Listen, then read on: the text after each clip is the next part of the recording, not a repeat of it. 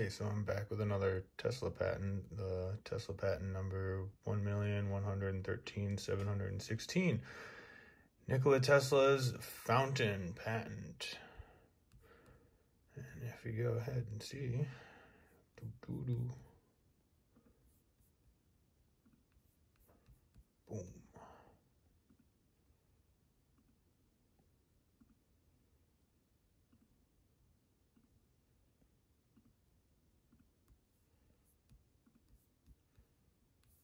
Zoom in.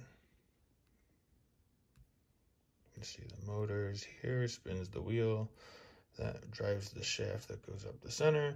That spins this outer sleeve, I guess you would call it. And then there's propellers that are on the inside here that push the water up. Well, get it spinning and cause it to rise and lift as well. And it nicely, it just falls down. He specifically talks about how if you want to aid in the, the process to use less energy to move this much water, you curve these the bowl side so that it keeps the velocity going as the water rushes down and comes back up.